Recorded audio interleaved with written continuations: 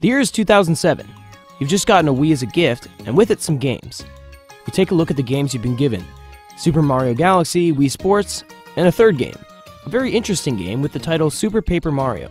Very curious as to what this is, since you've already played the other two games, you boot up the system and get immersed in a seemingly flat universe, taking control of a Mario made of paper.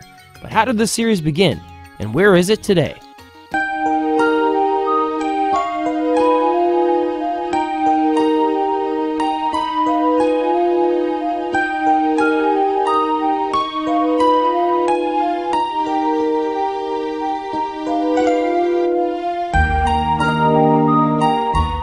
The Mario series covers a huge variety of genres platformers, sports, racing, party, educational, and role playing games. With the recent bankruptcy of AlphaDream, the creative geniuses behind the Mario and Luigi games, it's a good opportunity to talk about the other big Mario RPG series. My name is Taylor, and welcome to Unfolded, a Paper Mario documentary refolded. This is just a remaster of our Paper Mario documentary from last year, now with Origami King included. With that being said, let's get into the history of this gaming staple. The story starts with the game company behind the series Intelligent Systems. It was founded in December 1986 by Toru Narihiro. Initially, Narahiro was hired by Nintendo to help them port the Famicom Disk System software to the ROM cartridge system, which was later standard outside of Japan for the NES. Later on, the team would grow, and their primary task was to help fix and port Nintendo developed games such as the original Mario Bros. and Duck Hunt, and Donkey Kong 3, to name a few. Narihiro would program his first two games and release them towards the end of the Famicom's lifetime. Those games were Famicom Wars and Fire Emblem Shadow Dragon and the Blade of Light. With the success Narihiro found, he decided to hire more people, and thus Intelligent Systems became a game developing company. After the release of Square's critically acclaimed Super Mario RPG in 1996, the folks at Intelligent System were working on what was supposed to be a sequel to that game. The game was revealed at Space World 97, with Shigeru Miyamoto as one of the producers of the project. It was revealed in an interview with Nintendo Power at E3 that year that about 20 people worked on the game. Amongst those included writers Kumiko Takeda and Kaori Aoki, with Naohiko Aoyama as the art director, responsible for the game's unique paper art style. Originally, the game was called Super Mario RPG 2, but due to some legal complications with Square, the name was changed to Super Mario Adventure, then Mario Story in Japan, and Paper Mario for the rest of the world. It was originally meant to be released on Nintendo's 64DD, but the latter ended up being a commercial failure, so the game released on the regular 64. Early screenshots of the game showed the title screen with the name Super Mario RPG 2. Another screenshot depicted an early version of Dry Dry Desert, the final image was a concept of Mario, Luigi, and Yoshi in their Super Mario World sprites, surrounded by a 3D paper-like environment, with the title Mario RPG 64. Considering that the image was dated March 4, 1997, it can be assumed that this was the basis for the series' paper art style. The final game released in August 11, 2000 in Japan, February 5, 2001 in North America, and October 5 in Europe and Australia that same year. Paper Mario blended the traditional turn-based combat with an explorable 3D overworld filled with platforming puzzles. As the first entry, it introduced many elements that would become staples of the series, such as badges, the partner system, and the overall battle system. Badges were items that provided new moves, buffs, or other passive effects such as restoring HP every turn. Players could buy them at badge stores, get them as rewards for completing side quests, or find them randomly in the overworld. Like in most RPGs, Mario was followed by a party of unique characters who not only helped Mario in battle, but also in the overworld. Each partner had a special ability usable in the overworld. For example, Mario could toss Koopa shells to reach items that were too far away, or Mario could have Bombette explode to destroy cracked walls. In battles, Mario would have the choice to either jump, use his hammer, an item, or a special move using Mario's star power. Mario's partners all had unique moves, and they could learn more as they leveled up. After selecting an option, the player would do a short mini game, and the better their result, the stronger their attack. That system inspired the one used in the Mario and Luigi series. Paper Mario was a smashing success and received great reviews. The visuals, gameplay, and music by Fire Emblem composer Yuka Tsuchioka were praised. However, some found the game's story too simple, and the bosses and puzzles too easy. Nevertheless, the game was generally a commercial and critical success and sold around 1.37 million copies worldwide. Following the success of the first game, Intelligent Systems didn't waste time to start working on a sequel. It would eventually be unveiled to the public at the Game Developers Conference of 2003 under the title Paper Mario 2, set to release on the Nintendo GameCube. A demo of the game was available to play at E3 2004. Attendees could go through Hooktail's castle and a Bowser bonus stage. The game would be released in Japan on July 22, 2004. The worldwide version would get the new title Paper Mario The Thousand Year Door and be released in North America on October 11th, in Europe on November 12th, and in Australia on November 18th. The Thousand Year expanded upon numerous aspects of its predecessor and refined a lot. The visuals got a significant upgrade and became much more clear with very vivid colors. When it comes to exploration in the overworld, this sequel introduced paper abilities. Depicted as curses in the game, these abilities allowed Mario to change the shape of his body like paper. For example, Paper Mode changes Mario to be as thin as paper, which allows him to get through tight spaces. When standing on certain platforms, Mario can activate Plane Mode and fly like a paper plane. When near water, Mario could also activate Boat Mode, which turned him into a paper boat and allowed him to navigate on water. The game would also sometimes have the player go through the background to access certain areas. All of these new elements spiced up the overworld exploration and allowed for some interesting puzzles. The game's story, unlike the prequel, was much more serious in tone and introduced a new species of villain called the X-Nauts. In between the chapters, the players would be treated to an intermission in which they would either play as Bowser and go through a stage a la Mario Bros, or as Peach and try to escape the X-Naut Fortress. The game added brand new partners with new abilities such as Vivian and Flurry. The former allows Mario to hide in his shadow, and the latter can blow on certain paper elements of the background. The overworld has some items hidden in it, like returning badges, the shine sprites, and the star pieces, which could be exchanged for some rare badges. The battle system remains largely the same, but now the fights are set on a stage with an audience. Every time Mario attacks, the audience reacts and helps him fill his star power gauge. Sometimes the audience can help Mario by throwing useful items at him or throwing trash to hurt him. Occasionally, Luigi can be seen in the audience. Another change is that partners now have their own health points. In Paper Mario 64, the partners operated with an injured and fine system. But in the sequel, the player has to manage their partner's health, otherwise, they will faint. Partners also can now only level up and learn new moves when taken to Merlon, and in exchange of three shine sprites. Some badges also have variants for partners. As an example, Charge P allows Mario's partner to use the move Charge and buff themselves. The game eventually encountered a really small controversy. In 2008, four years after release, Morgan Creek Productions filed a lawsuit against Nintendo claiming that they had used the song You're So Cool from the film True Romance in an ad for the game without permission. They dropped the lawsuit six days later after Nintendo informed them that the advertising agency Leo Burnett USA had licensing for the song. The Thousand Year Door was a critical success, earning favorable reviews for its story, characters, and engaging gameplay. The paper mechanics were well received, and as some reviewers like One Up said, it's a cohesive, clever approach that turns the game's visual style into more than just a look. The music and the intermissions were also praised. According to VG Charts, the game ended up shipping over a million units worldwide. All in all, The Thousand Year Door was a successful sequel in almost every way. After seeing that The Thousand Year Door ended up being a grand success, Intelligent Systems went back to work on a third installment.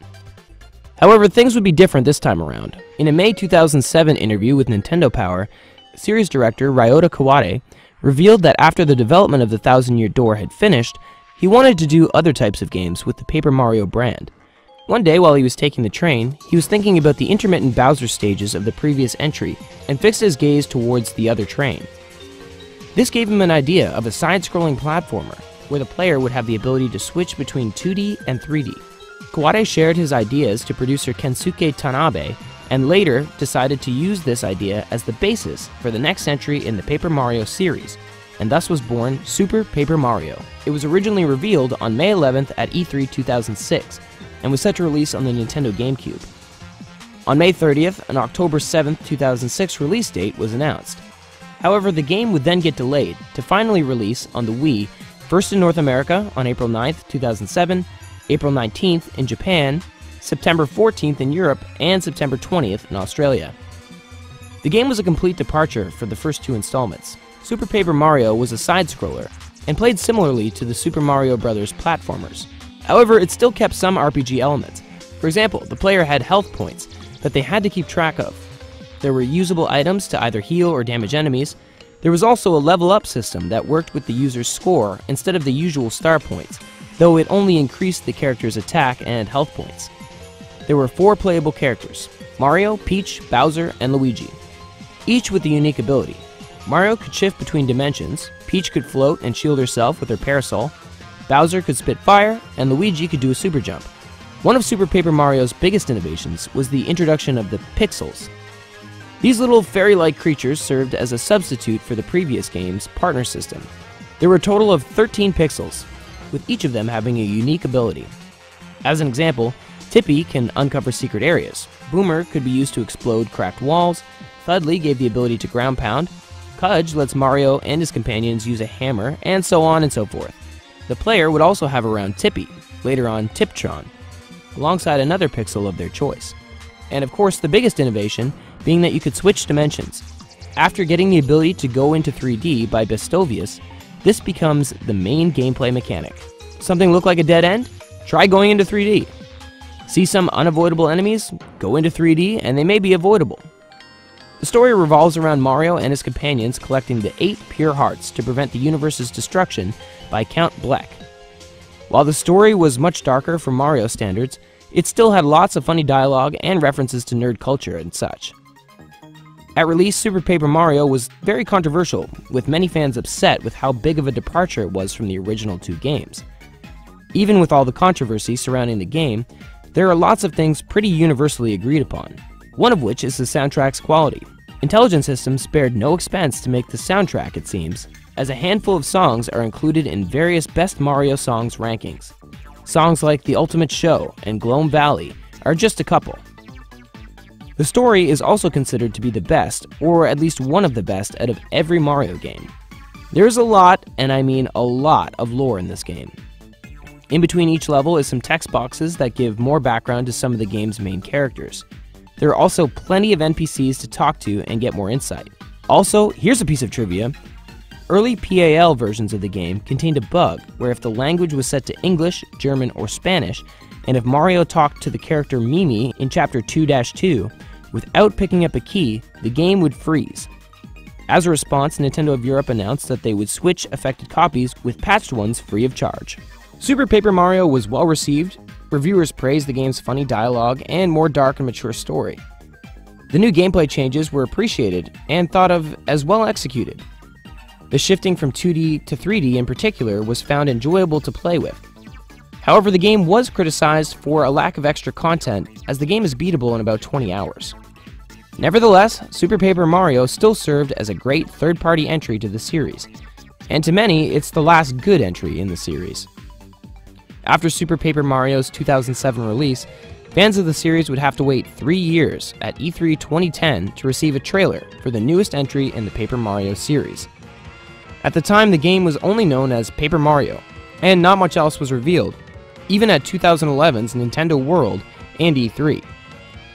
It was only at the following year's E3 that the game's full title was unveiled as Paper Mario Sticker Star, meant to release on the Nintendo 3DS during that year's holiday season. Sticker Star was the first game of the series to get a release on a handheld, but it was much more different than just that. The game's main new additions were the stickers, which were items scattered throughout the world and the player could use in battle. There were jump stickers with some unique ones which would allow Mario to jump on spiked enemies, or hammer stickers which gave the ability to cause an earthquake. Classic Mario items like the mushrooms and the fire flower were also made into stickers. Stickers had seven categories to choose from. Worn Out, which was the weakest, to Mega Flash, the strongest category. Stickers could also be used in the overworld to help Mario navigate and solve puzzles. Another type of sticker were the Things, these look like everyday items and were not made out of paper, like a flashlight, a pair of scissors, or a fan, and were usable in battle to cause massive damage. The sticker system essentially replaced the partners and pixels from the previous games. The unique battle system had returned to the turn-based style of the first two games, but instead of badges and partners, Mario only used stickers to fight. Mario's health could only be increased when he found an HP up heart, which increased his health points by 5. There were no experience points, and the player's strength was solely dependent on the types of stickers they had in their possession. After each battle, the stickers that were used would disappear, which meant that the player always had to collect stickers. The game's visuals changed a bit, with the characters looking like paper cutouts in a 3D papercraft like environment. All in all, Sticker Star took a very different approach compared to its predecessor in both looks, but most importantly, in terms of gameplay.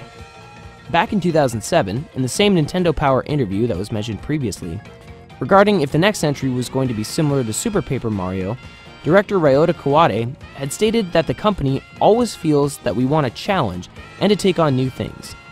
Echoing his words, producer Kensuke Tanabe added, I also would like to look for another new and different style. In a series of interviews conducted by the late Satoru Iwata around the game, revealed some interesting information concerning Sticker Star's development.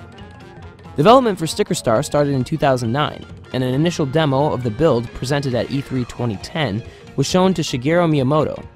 Reportedly, he wasn't impressed with it and thought the game looked like a port of the Thousand Year Door, and asked the team to change things up. The team behind the game was mostly composed of newer staff, around 90% of them. Due to Miyamoto's criticism, the team racked their brains to try and come up with something, and ended up settling on stickers, which led them to abandoning some of the RPG elements like the partners and experience points. Miyamoto had also suggested to keep the story to a minimum and only use pre-established Mario characters.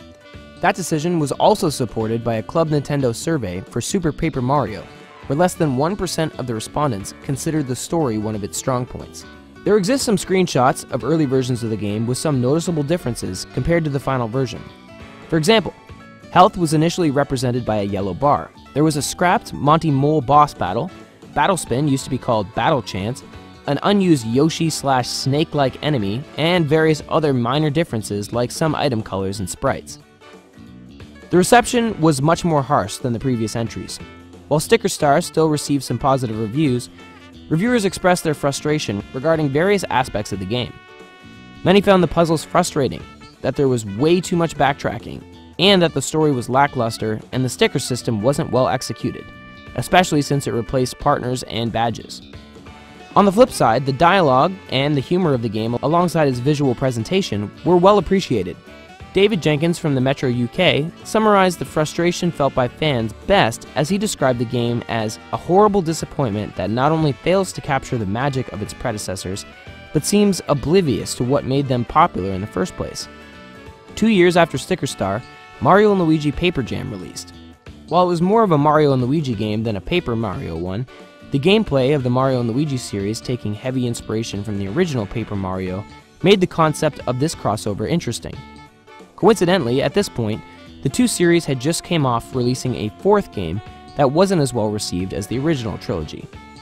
In hindsight, Paper Jam showed the current state of both series and that they were kind of in the same situation of needing a game to gain their audience back.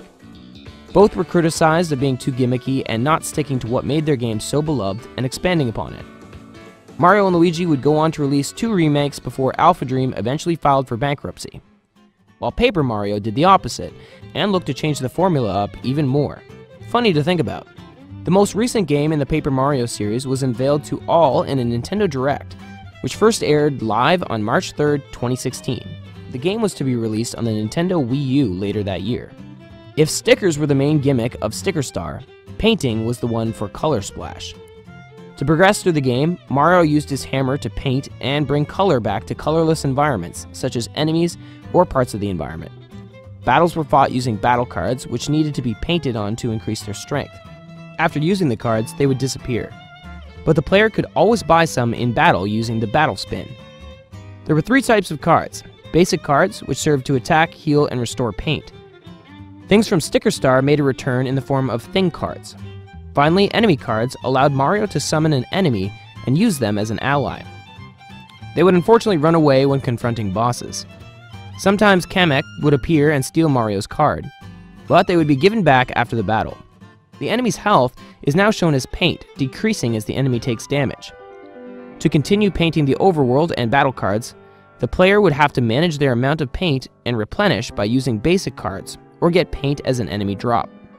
Like in Sticker Star, HP up hearts are back, but this time increases Mario's health by 25. The paperization of the previous entry also returns to cut some parts of the courses, alongside the flip ability of Super Paper Mario, though it is limited to one course dedicated to Super Mario Bros. 3. One of the most unusual elements and concept arts for Color Splash are present within the game in the art gallery. Two locations were left unused. First was Decalburg from Sticker Star, which featured a path towards a part of town that wasn't seen before. The other is a location resembling a temple with blue torches with three levels to it connected by staircases. The interior is also visible in the art gallery.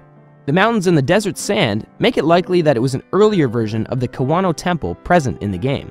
In an interview with Game Informer, some information was given regarding the conception of Color Splash. Kensuke Tanabe explained that the idea of repainting the world came from the director of production, Atsushi Ikuno. Ikuno said that seeing his children play with paint is what gave him the idea. Tanabe also said that the game's battle system was more focused on puzzle solving instead of the typical turn based system, which is more combat focused.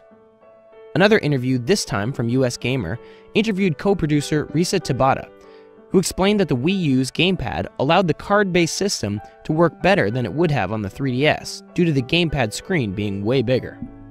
Prior to release, the reception of Color Splash was not positive. Its similarities to Sticker Star had already put many on alert, and the new emphasis on paint was seen as another dumb gimmick like the stickers. There was even a Change.org petition to have it and Metroid Prime Federation Force cancelled. After release, however, the reviews were generally positive. The art style and soundtrack were praised as many thought the game looked really pretty. The dialogue and jokes were, as usual, well received. However, many disliked the lack of a leveling system, having to use the gamepad, and that the battle system was slow and too simplistic. The plot was also criticized, but especially the lack of character variety. Dan Ryckert stated that there were too many toads. In a post release interview with Game Informer, Tanabe addressed the lack of variety in characters by explaining that Miyamoto had once again asked them to stick to already established characters of the series. Nevertheless, Color Splash was still a good game, but it wasn't what fans wanted after Sticker Star. Following the release of Color Splash, Nintendo shifted their focus from the Paper Mario franchise to the release of their brand new console, the NX. As rumors regarding the NX increased, hype for the future of Nintendo grew exponentially. Amongst all this hype, a new promising console featuring a new revolutionary Zelda game and a gorgeous 3D Mario. The idea of Nintendo releasing a new Paper Mario game became less and less of a priority in the mind of the average Nintendo fan. This hype continued until spring of 2020 when Nintendo released Animal Crossing and went silent, likely due to the pandemic. Nintendo provided no news on upcoming Nintendo games or any other plans for the future. Nintendo went completely silent for months, until one day, on May 14, 2021, Nintendo spoke. Instead of announcing a date for a direct like they previously would, Nintendo dropped a trailer for a new Paper Mario game out of nowhere. The people were excited to hear Nintendo releasing games again, and Paper Mario fans were excited for a new promising entry. The appearance of an evil Princess Peach and an origami cult made fans hopeful for another complex, story rich game akin to the first few Paper Marios. While the story looked promising, many fans were turned off by the battle system, which once again strayed from the RPG battle system of PM64 and TTYD. Many fans needed to get their hands on the game to make a definitive statement on their opinions, and luckily, they didn't have to wait very long. On July 17, 2021, a mere two months after the game was announced, Paper Mario The Origami King released on the Nintendo Switch in the United States to an extremely toxic and diverse fan reception. Upon release, TOK was mainly received with either one of two opinions. You were either a die-hard Paper Mario fan who believed that the new Paper Mario game should be like the old ones, or a newer fan who believed that both versions of the Paper Mario series are perfectly decent games in their own ways. For a while, it seemed like these two were the only two opinions anyone had on TOK and if one member of one group opposed another, you'd witness a fight between Paper Mario fans like no other. The fan base was completely split and became extremely toxic as a result. It was almost as if a conversation about Paper Mario couldn't happen without absolute chaos. This was a bad time for the Paper Mario community. However, as time passed, the game became less and less controversial. But why is that? Let's take a look at the game itself. It is very much more similar to the more recent Paper Mario games, being Sticker Star and Color Splash. It has no leveling system, few brand new character types, an obsession with paper, or in this case also origami, and a lack of real RPG elements. It takes place in the Mushroom Kingdom, as you'd expect, but this time parts of the world are just gone, and you need to throw confetti to fix it, similar to painting pieces drained of their color in Color Splash. And like with the paint hammer from Color Splash, you can only have a certain amount of confetti before you run out. But it is incredibly easy to find. As for the plot, it's centered around the evil king Olly, who wants to turn everything into origami. His sister Olivia is your main companion throughout the game. The bosses in the game are mostly the Vellumentals of different elements or office supplies. There really were not many brand new characters in this game, like with the previous two entries in the series. Partners were kind of brought back, but not in the same way as the original three. Partners are with you for a limited amount of time, and you don't have much control over them, unlike the original three games. They also don't have the more unique designs. There is Bobby, who looks like a regular Bob-omb, without a fuse, and Spike, who is, well, a fairly normal looking Spike. There are others as well, and you get the point. Overall, opinions on TOK are fairly split, with it having an 80% on Metacritic and a 7 out of 10 from IGN. The popular opinion was that this game is better than Color Splash and Sticker Star, but not as good as the original three. However, there is a sect of the fanbase that does think that this is the best game in the series. Now that all the games have been covered, it's time for some interesting pieces of trivia for each game.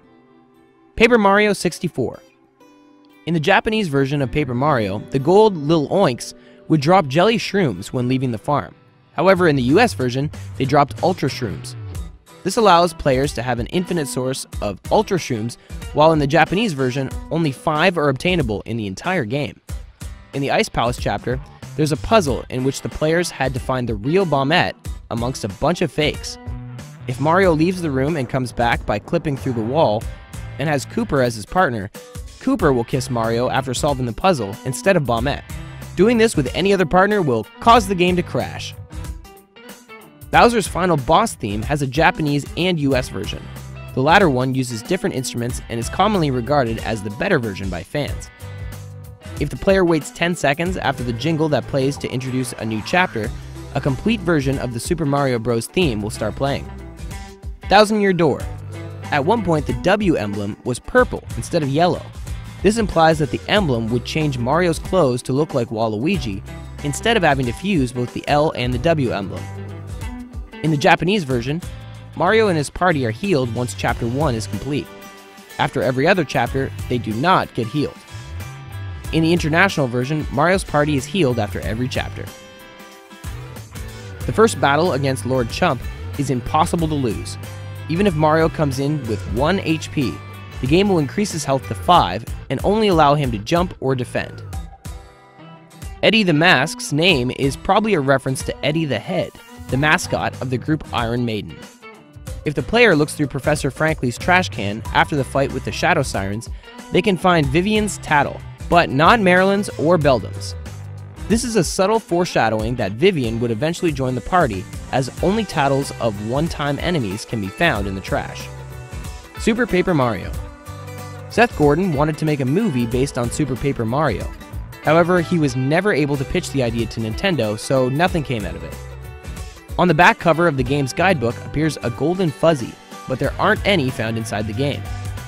In the German version, Francis the Chameleon is called Conrad. This is a reference to Conrad, a popular German PC store. Near the end of the game, Dimentio will ask the player if they want to join him to fight Count Bleck. If the player says yes four times, they get enslaved and are treated to a game over screen.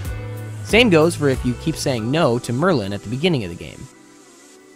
When Dimentio orders Fractail to self destruct, the dragon says, I am error, a reference to an NPC in Zelda 2. Sticker Star. The file containing the scripts for Kersti are called Navi. This could be a reference to Ocarina of Time's Navi as they both fulfill a similar role. The game contains the files for the Super Mario Bros. 3 enemy Ptooie, implying that they were originally planned to be in the game. It is the only game in the series that doesn't start in Mario's house. The house is never even seen, in fact. When using the Boombox sticker, a remix of the space theme of Super Mario Land 2, 6 golden coins plays. Color Splash. On September 22, 2016, the game was accidentally made available to play for anyone who preloaded it two weeks before the planned release date. Despite Color being written Color in the UK and Australia, the titles of their copies of the game were not changed to reflect this. The seven main colors of the game red, blue, yellow, violet, orange, green, and black are the exact same used for Koopaling's magic wands all the way back in Super Mario Bros. 3. Since then, there hasn't been a new entry to the series. Many fans of Paper Mario feel as though the series was changed for the worst, with Sticker Star and Color Splash. Some would even go as far as to say that Super Paper Mario was the start of this decline. The partner system alongside the badges, two beloved features of the first two games, have yet to return since the Thousand Year Door. Not too long ago, fans of the series made the hashtag remaster TTYD trending worldwide on Twitter to express their desire for a return to this style of the game. The silver lining for them is that, unlike AlphaDream, Intelligent Systems is going strong, thanks in large part to the rebirth of the Fire Emblem franchise, ushered by Fire Emblem Awakening. Plus, since Color Splash only released around three years ago, there's reason to believe that a new Paper Mario installment is going to be announced for the Nintendo Switch. Until then, fans of the series can always look back to the games that they loved so much and hope that the newest entry takes inspiration from them. Paper Mario has a very storied history, and we can only hope that the history continues with the new entry on the Switch. Until then, we can still go back to playing the original three Paper Mario games, and hope that the mistakes from the recent entries will be fixed. We thank you for watching Unfolded, a Paper Mario documentary. If you enjoyed this video, please subscribe, like, join our Discord, and check out some of our other videos. We have plenty of Mario content on Game Domain, and think you'll enjoy it a lot. This has been Taylor with Game Domain.